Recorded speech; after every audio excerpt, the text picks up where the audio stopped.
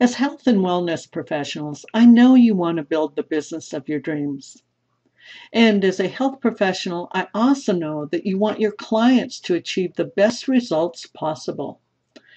After all, when they are successful, you are successful.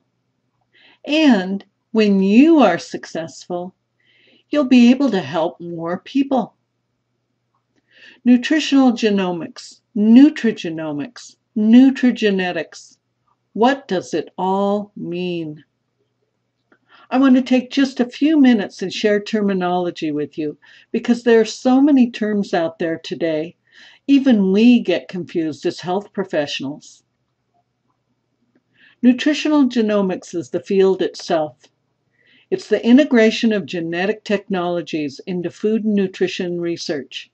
And from a practical application standpoint, the identification through the use of genetic technology of variations in the DNA that provide susceptibility to disease and that can be used to direct lifestyle interventions that minimize the risk of disease development. Nutrigenetics is a subdiscipline of nutritional genomics and pertains to an individual's goodness of fit with their environment as a result of the specific genetic variations, such as gene variants, within their DNA. Nutrigenetics is what determines that someone needs more of a particular nutrient than someone else, or that someone will be more susceptible to caffeine jitters when they drink coffee, or of developing cancer when they eat a steady diet of charred meat. Nutrigenomics pertains to the ability of molecules from the environment to alter gene expression. Nutrigenomics essentially works in the opposite direction from nutrigenetics. It's about the environment's influence on the individual's genome, whereas nutrigenetics is the individual's genome influencing how well that person will survive and thrive in a particular environment. Well, there you have it. Interested in learning how you can implement all of this? Then join Leslie Koskela and I in Nutritional Genomics 101 Building Your Business with Genetic Testing.